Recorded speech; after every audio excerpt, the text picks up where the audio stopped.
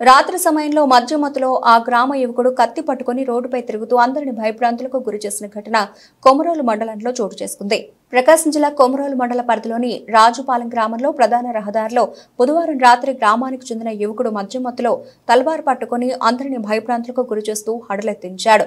వివరాల మేరకు గ్రామానికి చెందిన తిరుమల కృష్ణ అనే యువకుడు బుధవారం రాత్రి ఎనిమిది గంటల సమయంలో రాజుపాలెం ప్రధాన రహదారిలో మధ్యమత్తులో చేతితో కత్తిని పట్టుకుని స్థానికులపై దూషణలకు దిగుతూ అడ్డొస్తే చంపుతానంటూ అందరిపైకి కత్తెత్తుతూ హంగామా సృష్టించాడు. దాదాపు గంటపాటు రహదారిపైన చొక్కా కూడా ధరించకుండా గ్రామస్తులను తిడుతూ వీరంగం సృష్టించాడు. విషయం తెలుసుకున్న కొమరోలు పోలీసులు అక్కడికి చేరుకుని యువకుడిని పట్టుకుని స్టేషన్కు తరలించారు. సబ్ ఇన్స్పెక్టర్ వెంకటేశ్వర నాయక్ యువకుడికి కౌన్సిలింగ్ ఇవ్వడంతో పాటు మద్యం సేవించి కత్తితో హంగామా చేసినందుకు కేసు నమోదు చేసినట్లు ఆయన తెలిపారు.